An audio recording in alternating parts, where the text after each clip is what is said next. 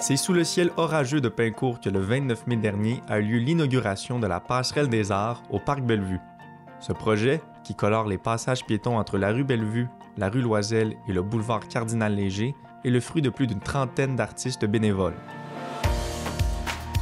C'est avec une immense fierté que nous ressemblons aujourd'hui pour l'inauguration de la passerelle des arts.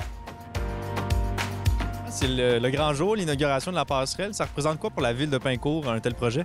Oui, on est très fiers de ça pour euh, les- les- le bien de les citoyens.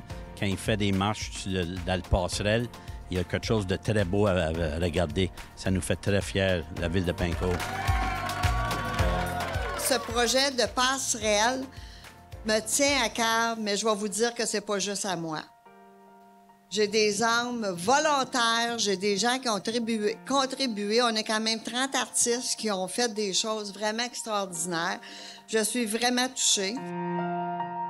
Tous les artistes qui sortent de leur maison puis ils viennent à Ouais. peinturer le, passerelle, c'est vraiment quelque chose. Le projet continue. On a déjà des demandes pour faire les autres passerelles. C'est quoi la suite du projet? La suite du projet, c'est qu'on veut continuer cette belle, opportunité-là qu'on a avec la, possibilité de la ville et de tout le monde, de continuer dans toutes les passerelles. Là on, a, fait la passerelle 1, qui est toute faite, qui est très importante, qui est toute faite avec du recyclage. Passerelle 2, là, on a fait des panneaux. Mais écoute, c'est, puis là, on commence, on, d'autres passerelles euh, sur Cardinal-Léger, puis on continue dans les parcs. Le comité de design de la ville invite les autres artistes pincourtois à se joindre à la suite du projet afin d'embellir toutes les autres passerelles du territoire.